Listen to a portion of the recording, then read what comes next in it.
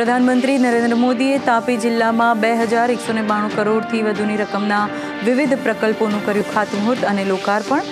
પ્રધાનમંત્રીએ જણાવ્યું હતું કે આદિવાસીઓનું કલ્યાણ એ અમારી સર્વોચ્ચ પ્રાથમિકતા. અમારી સરકાર આદિવાસીઓને સશક્ત બનાવવાનું કરે છે કામ, જ્યારે દસકો બાદ પણ કોંગ્રેસે આદિવાસીઓની પરવાહ નહોતી કરી. પ્રધાનમંત્રી નરેન્દ્ર મોદી અને યુએનના મહાસચિવે કેવડિયામાં મિશન લાઈફનો કર્યો શુભારંભ. પ્રધાનમંત્રીએ જણાવ્યું રિડ્યુસ રીયુઝ અને રિસાયકલ અને સર્ક્યુલર ઇકોનોમી હજારો વર્ષોથી રહ્યું છે.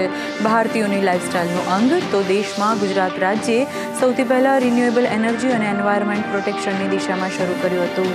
કામ મિશન લાઈફમાં શરૂઆતથી જોડાયેલ કાર્યક્રમમાં દુનિયાના કેટલાક નેતાઓએ આપ્યો સંદેશ. બ્રિટનના પીએમ લીઝ ટ્રસે મિશન લાઈફને લોન્ચ કરવા પર ભારતના નેટવર્કની કરી સરાહના.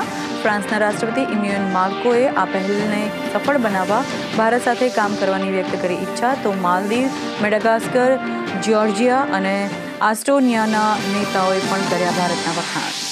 મિશન લાઈફ કાર્યક્રમમાં યુએન મહાસચિવ એન્ટોનિયા ગુટરેસે જણાવ્યું કે ક્લાઇમેટ ચેન્જ એ વિશ્વની મોટી સમસ્યા, તેના નિવારણ અને સંરક્ષણ માટે સાથે મળીને કરવું પડશે કામ.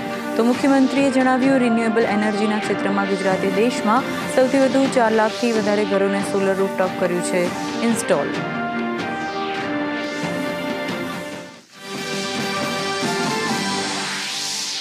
ડિફેન્સ એક્સપો કાર્યક્રમમાં યોજાયા વિશેષ કાર્યક્રમ. તો બંધન સમારોહમાં સંરક્ષણ મંત્રી રાજનાથ સિંહે કહ્યું મેક ઇન ઇન્ડિયા જ નહીં, પરંતુ મેક ફોર વર્લ્ડના લક્ષ્યાંકને પૂર્ણ કરવા તરફ વધી રહ્યા છીએ આગળ. બે હજાર ચોવીસ અને પચીસમાં ભારતની રક્ષા નિકાસ ચાલીસ હજાર કરોડને થશે પાર. તો ડીઆરડીઓએ ભારતની પ્રતિષ્ઠિત સાત આઈઆઈટી સાથે સાઇન કર્યા. એમઓયુ કેન્દ્રીય ગૃહમંત્રી અમિત શાહે દિલ્હીમાં કચરામાંથી વીજળી સંયંત્રનું કર્યું ઉદ્ઘાટન. દરરોજ લગભગ બે હજાર મેટ્રિક ટન કચરાનો થશે નિકાલ. તો પચીસ મેગાવોટ હરિત ઊર્જા થશે ઉત્પન્ન. તો દિલ્હી સરકાર પર વિકાસની રાજનીતિ કરવાની જગ્યાએ પ્રચારનો લગાવ્યો આરોપ.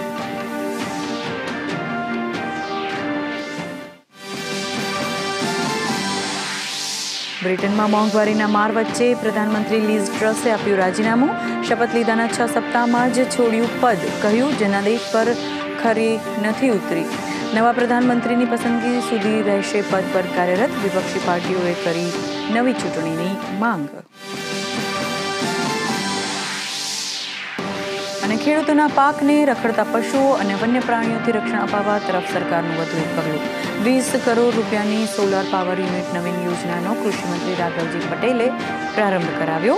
ખેડૂતોને આધુનિક ખેત પદ્ધતિ અને માર્ગદર્શન અને સમયસર ઇનપુટ્સ મળી રહે તે માટે રાજ્યમાં નવા પંચાવન એગ્રો બિઝનેસ સેન્ટર કરાશે શરૂ.